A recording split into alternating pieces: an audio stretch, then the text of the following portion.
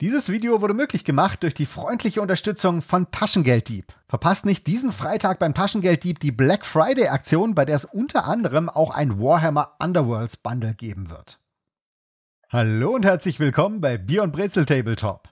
Heute spiele ich endlich mal wieder eine Runde Warhammer Underworlds und zwar mit dem Patrick. Wir haben nach den neuen Gnarlwood-Regeln gespielt. Der Patrick spielt die Hexbanes Hunter und ich spiele den blutroten Hof. Viel Spaß beim Spiel. Meine Gedanken dazu gibt's wie immer nach dem Match.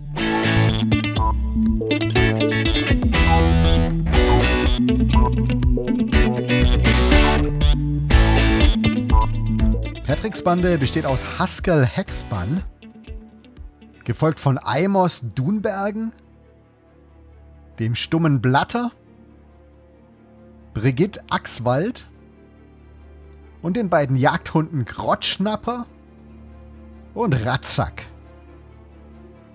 Mein blutroter Hof besteht aus Prinz Duval, Gorath, dem Vollstrecker, Velas von Fane und Enias, dem Verfluchten. Bemalt wurden die Vampire vom lieben Sebastian, sein Instagram ist in der Videobeschreibung verlinkt. Und wer weiß, welche Serie hier referenziert wird, der kriegt extra Bier- und Brezelpunkte. Wir würfeln um die Spielfeldauswahl und ich gewinne den Wurf.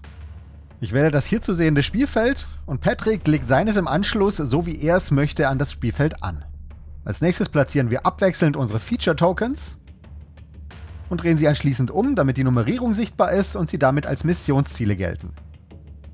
Dann ziehen wir beide unsere Kraftkarten und unsere Ruhmeskarten. Wir würfeln erneut darum, wer entscheiden darf, wer zuerst aufstellt. Und dieses Mal gewinnt Patrick. Er lässt mich mit dem Aufstellen anfangen und ich bin so oder so durch meine geringere Modellzahl schneller mit dem Aufstellen fertig. Daher bekomme ich beim Startwurf dann einen zusätzlichen Erfolg gutgeschrieben. Den bräuchte ich aber gar nicht, ich gewinne auch so und ich entscheide, dass Patrick die erste Aktivierung bekommt. Bevor die Runde losgeht, bekommt aber noch jeder meiner Kämpfer einen Hungermarker. Das ist eine Sonderregel des blutroten Hofs. Ab drei Hungermarkern ist ein Modell blutdurstig und bekommt dadurch unterschiedliche Vor- und Nachteile, je nach Charakter. Patricks erste Aktivierung geht an Haskell und er macht mit ihm eine Angriffsaktion. Das heißt, er bewegt ihn ein Stück und feuert dann mit seiner Pistole auf meinen Gorath. Er benötigt Schwerter zum Treffen, verfehlt aber leider komplett. Patrick spielt keine Kraftkarte, ich spiele dafür aber Mighty Strike. Für plus ein Schaden bei der nächsten Attackenaktion. Patrick spielt die Karte auf Befehl des Bundes und gibt damit einem seiner Kämpfer ein kostenloses Upgrade. Er gibt damit Haskell das schützende Brandmal, wodurch er einen Verteidigungswürfel wiederholen darf. Außerdem kann er im Kampf nicht unterstützt werden und Attacken gegen ihn können nicht unterstützt sein. Ich aktiviere Gorath und mache mit ihm eine Angriffsaktion gegen Haskell. Ich treffe auf Hämmern und habe einen Erfolg, aber Haskell verteidigt sich erfolgreich. Dann spiele ich die List Tenebrous Form auf Gorath wodurch dieser bis zum Ende der Phase drei Verteidigungswürfel hat, die auf einem Ausweichsymbol erfolgreich sind. Allerdings kann er auch nicht attackieren und keine Missionsziele besetzen. Patrick lässt sich davon nicht abschrecken und macht mit Amos eine Angriffsaktion gegen Gorath. Er trifft auf Hämmern und hat zwei Erfolge. Und trotz meiner nebulösen Form geht die Attacke durch. Gorath erleidet zwei Punkte Schaden. Und ich darf direkt die Ruhmeskarte Spirited Attempt werten, weil ein Charakter von mir Schaden erlangt hat, aber nicht gestorben ist. Von dem Ruhmespunkt kaufe ich mir gleich für Gorath die Marusi-Rüstung, die, wenn er angespornt ist, allen Schaden um 1 reduziert und wenn er blutdurstig ist, allen Schaden von 1 komplett negiert. Ich aktiviere Prinz Duval und mache eine Angriffsaktion gegen Haskell. Ich treffe auf Hämmern und treffe zweimal. Das Unterstützungssymbol gilt dabei nicht wegen dem schützenden Brandmal. Der Treffer geht durch und Haskell erleidet zwei Punkte Schaden. Haben wir zuvor vergessen, aber Eimos ist sofort angespornt, wenn Haskell Ziel einer Attacke wird. Blatter aktiviert und bewegt sich auf das Handgemenge zu. Und durch seine treue Jagdhundregel darf sich Ratzak jetzt direkt auch noch bewegen. Ich aktiviere Enias und mache eine Angriffsaktion gegen Ratzak. Enias trifft auf Schwertern und verfehlt komplett. Patrick aktiviert Brigitte und macht mit ihr ebenfalls eine Bewegungsaktion, gefolgt von Grottschnapper, der ebenfalls die treue Jagdhundregel hat und sich in meine Spielfeldhälfte bewegt. Meine letzte Aktion in dieser Runde ist Velas, die eine Angriffsaktion gegen Grotschnapper macht. Sie trifft auf Hämmern und die Attacke geht durch. Und die zwei Punkte Schaden reichen aus, um Grotschnapper sanft in den Schlaf zu streicheln. Dadurch wird Ratzak automatisch angespornt. Und das gleiche gilt für sein Herrchen Blatter. Und einen Ruhmespunkt gibt es auch erst, wenn ich beide Hunde ausgeschalten habe. Allerdings darf Velas jetzt trotzdem alle ihre Hungermarker entfernen. Und weil Velas zu Beginn der Kraftphase jetzt keine Hungermarker mehr hat, wird sie automatisch angespornt. Ihre Attacken ignorieren jetzt Schilde und Ausweichsymbole und sie ist immer in Verteidigungsstellung. Autsch!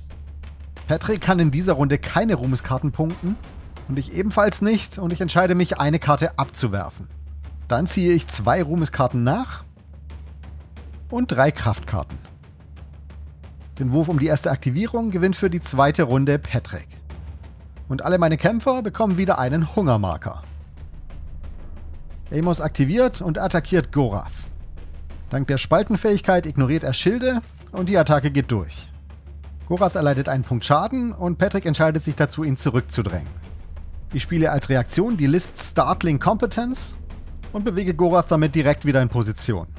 Dann spiele ich die Listkarte Bestial Transformation auf Prinz Duval, wodurch seine Attacken, Schilde und Ausweichsymbole ignorieren.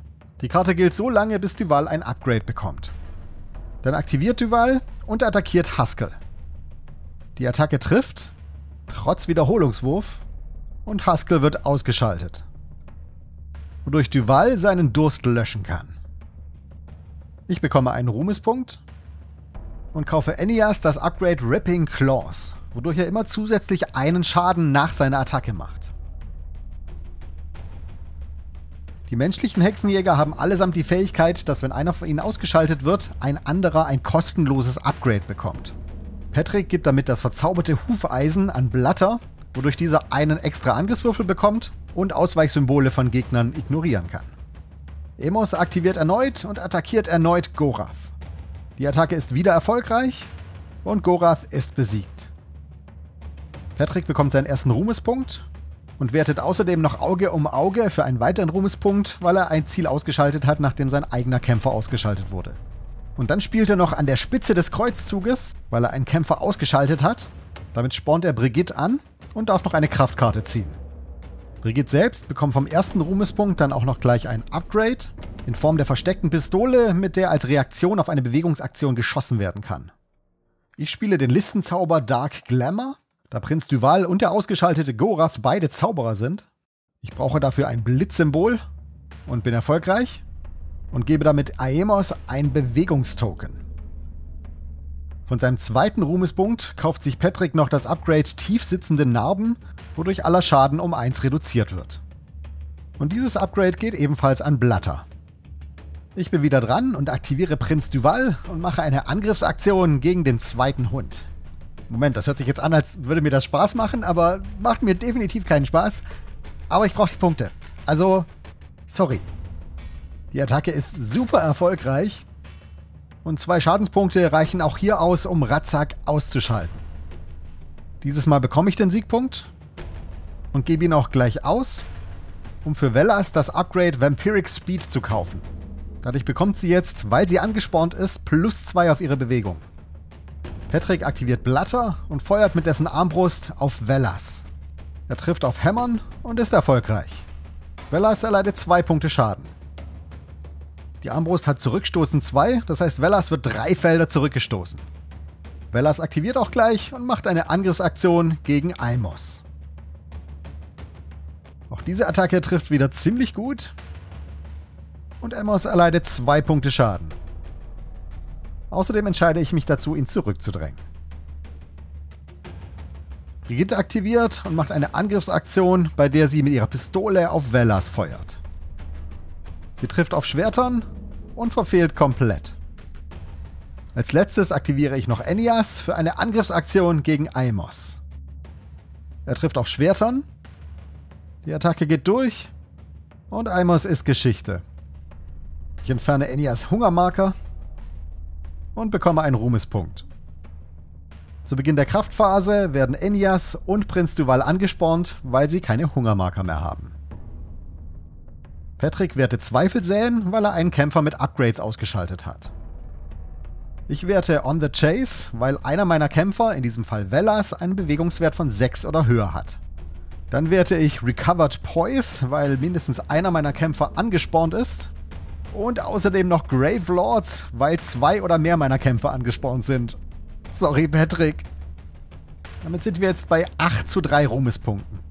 Ich ziehe noch Kraftkarten nach und Ruhmeskarten. Der Hunger bei meinen Kämpfern steigt wieder. Und Patrick gewinnt wieder die erste Aktivierung. Damit er wenigstens mal irgendwas gewinnt. Brigitte macht eine Angriffsaktion gegen Enias und verwendet wieder ihre Bündelpistole. Da sie an ihr Ziel angrenzt, darf sie jetzt entscheiden, ob sie lieber einen Angriffswürfel extra oder zwei Schaden extra haben will. Patrick entscheidet sich für den extra Schaden und erzielt einen Erfolg und Enias wehrt erfolgreich ab. Patrick spielt Siegel aus Märtyrerblut, wodurch Attacken in der nächsten Runde nicht modifiziert werden können und die Spalten- und Bindenregeln nicht zählen. Ich spiele Blood Vial auf Velas und entferne damit eine Wunde und einen Hungermarker. Dann spielt Patrick noch Gebete der Gläubigen, wodurch ich bis zum nächsten Kraftschritt keine Listen und keine Zauber einsetzen kann. Patrick gibt Brigitte noch die Laterne der Vergeltung für eine spezielle Zauberangriffsaktion und ich gebe Duval Deathly Majesty, wodurch Attacken gegen ihn einen Würfel weniger bekommen. Dadurch verfällt allerdings auch seine Bestial Transformation. Und dann aktiviere ich Duval und mache eine Angriffsaktion gegen Brigitte. Mein unverschämtes Würfelglück will immer noch nicht abreißen. Und selbst ein guter Verteidigungswurf reicht nicht aus. Aber immerhin kann Patrick die List auf Biegen und Brechen einsetzen, um den Schaden um 1 zu reduzieren. Blatte aktiviert und feuert auf Enias. Er trifft und Enias erleidet zwei Punkte Schaden. Patrick verwendet noch die List spitzenmäßige Argumente für eine Spezialattacke gegen Enias, aber die Attacke wird abgewehrt. Enias aktiviert und attackiert Brigitte. Die Attacke trifft mit Unterstützung und Brigitte wird ausgeschaltet.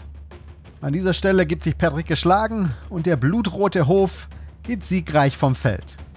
Gutes Spiel, Patrick.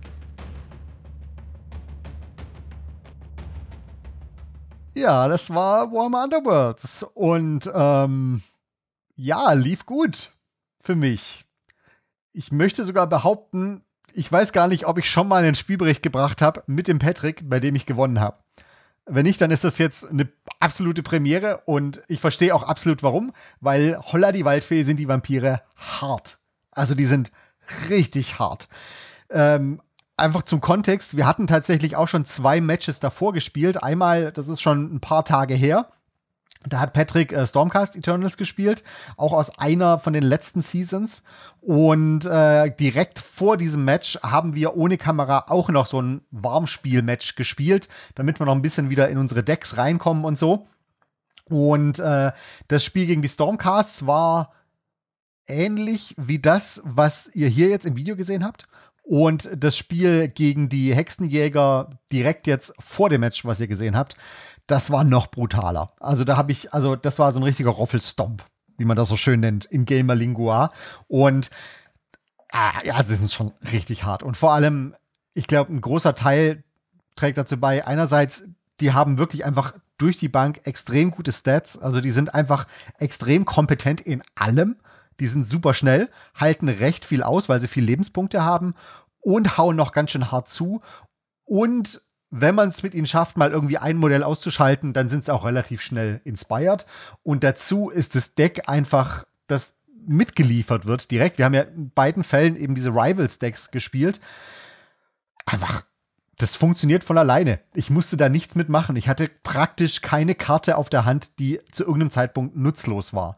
Und ich glaube, das liegt nicht nur am Glück. Also ich hatte auch wieder hier ein bisschen Glück beim Kartenziehen, aber es liegt auch einfach daran, dass da durch die Bank einfach nützliche Karten drin sind, die auch von den Ruhmeskarten, wo man einfach gut und schnell Punkte machen kann, einfach indem man das Spiel spielt. Einfach indem man zum Gegner geht und ein bisschen draufhaut. Dann verteile ich hier ein Upgrade, cool, kriege ich Punkte dafür.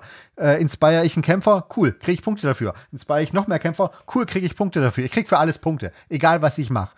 Und das, ja, also sagen wir mal, sehr einsteigerfreundlich, die Bande. Wenn ihr mit jemandem spielt, der vielleicht zum ersten Mal spielt, gebt ihm doch diese Bande, dann will er bestimmt nochmal mit euch spielen. Äh, ansonsten würde ich, glaube ich, tatsächlich keine Ahnung. Also gegen die Hexenjäger fand ich es ein bisschen tricky.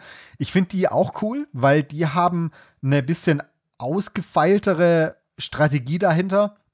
Bei denen geht's, habt ihr vielleicht gesehen, alles um Upgrades. Also die, die kann man relativ gut und relativ schnell durch verschiedene Effekte, eben durch diese Verluste und auch durch Kraftkarten mit Upgrades vollpumpen und dann werden die auch so richtig hart. Also wir hatten es tatsächlich in diesem einen Match, wo ich den Patrick so überrannt habe, da hat eben gerade dieses Überrennen dazu geführt, dass eines seiner Modelle, ich glaube, das war Blatter in dem Fall, so richtig, richtig viele Upgrades gekriegt hat.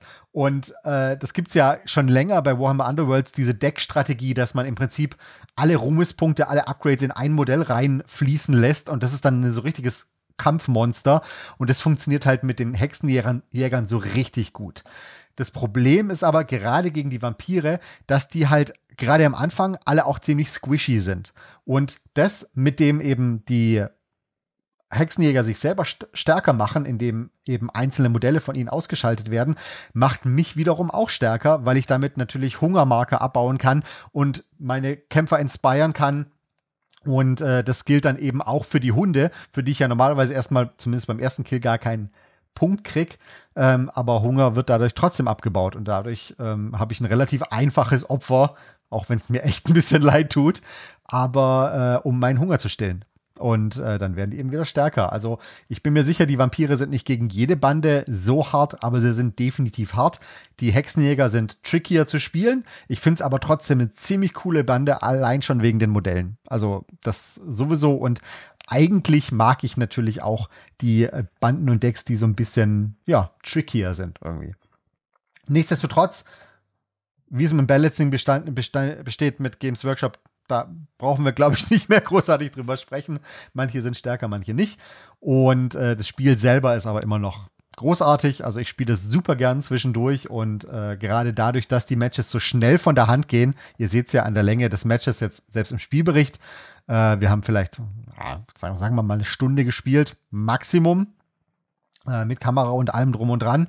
Und äh, da, da sieht man einfach dran, das geht super schnell von der Hand und dann ist es auch nicht so schlimm, wenn man mal auf die Nase kriegt. Weil bedenkt, normalerweise spielt man auch tatsächlich drei Matches hintereinander und spielt so ein Best of Three. Dann werden auch hier und da mal so ein paar unglückliche Würfelwürfe wieder ausgeglichen. Weil, darf man auch nicht vergessen, habt ihr vielleicht gesehen, ich habe gewürfelt wie ein junger Gott. Also, das kenne ich, so kenne ich mich gar nicht. Und Patrick hat dagegen wirklich richtig mies gewürfelt. Also ist nur so bedingt repräsentativ das Ganze. Aber, wie gesagt, Warhammer Underworlds. Ich hoffe, es hat euch gefallen. An dieser Stelle noch der Hinweis, dass diese Woche am Freitag und Samstag im Rahmen der Black Friday Aktion beim Taschengelddieb, der mir die Narwood Box äh, gestellt hat, freundlicherweise es eine äh, Bundle-Aktion gibt, wo man unter anderem auch ein Warhammer Underworlds Bundle sich holen kann. Ich weiß leider immer noch selbst nicht, was genau drin sein wird. Ich bin mir ziemlich sicher, dass die Hexenjäger dabei sein werden. Also wenn ihr ein paar so richtig coole Oldschool-Hexenjäger haben wollt, dann definitiv angucken. Aber generell haltet einfach Ausschau, guckt beim Taschengelddieb vorbei, guckt bei ihm auf Facebook vorbei. Da kündigt er jetzt, glaube ich, die ganze Woche die Bundles an, die es dann am Freitag und Samstag geben wird. Und vor allem auch, wann es die geben wird. Das ist ein wichtiger Punkt, weil die wird es eben über den Tag verteilt geben. Und äh, schaut einfach rein. Coole Aktion. Und da ist einiges abgefahrenes Zeug geplant, von dem ich selber noch nicht so alles weiß. Ja, das war es jetzt von meiner Seite. Ich hoffe, es hat euch Spaß gemacht. Mir hat es auf jeden Fall Spaß gemacht. Patrick vielleicht auch. Mal gucken, ob er nochmal mit mir spielt. Und äh, ansonsten wünsche ich euch erstmal eine wunderschöne Woche. Wir sehen uns bald wieder und äh, greift ein paar coole Deals ab beim Black Friday, egal wo ihr das macht. Und ja, ansonsten viel Spaß. Bis zum nächsten Mal. Ciao, ciao.